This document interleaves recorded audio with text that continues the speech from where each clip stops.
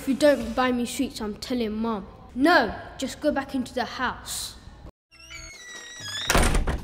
Every morning when I leave to go to school, I have an argument with my brother. He's so disturbing. When I get onto the street, I see a black jeep nearby and I wonder what it's doing there. I walk past the laundry and I see this old lady there watching the cars go by while smoking. She's always there. She's like a landmark.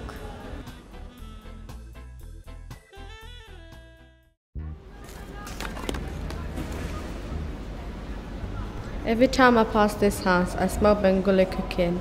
It's a familiar smell to me because my family are from Bangladesh. It reminds me of my family eating curry from home. Sometimes we take a trip to Bangladesh to visit my family in Sylhet. In Sylhet, the cars are crowded, full of people, and no one stops at traffic lights.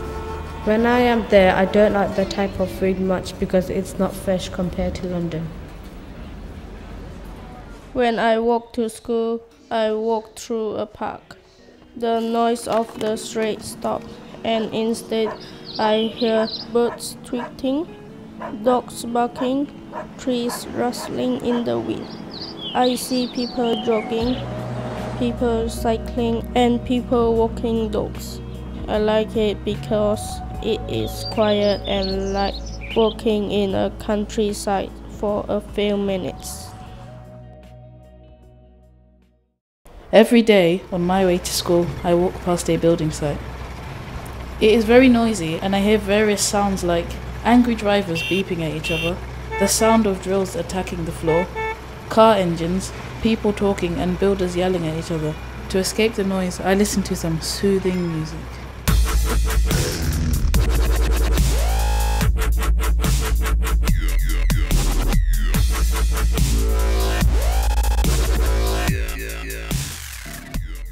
There's that black car again. Must be following me.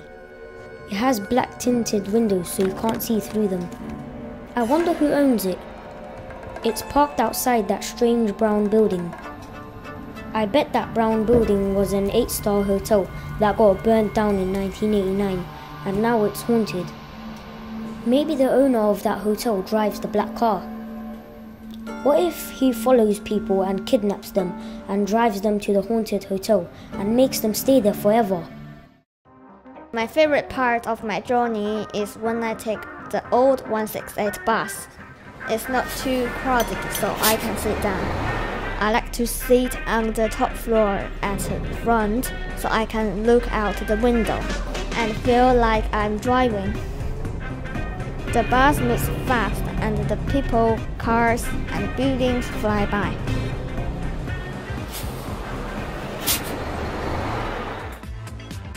Yeah, like you alright? Yeah, I'm alright. Are you alright? Yeah, I'm fine. Just a bit tired because I was up all night arguing with my little brother who's better Messi or Cristiano Ronaldo. I think Cristiano's more better. Who scored more goals though? But he has more skills. Yeah, but who has a better future? Oh, we don't know. I'll snap the pips you say. Uh, bye.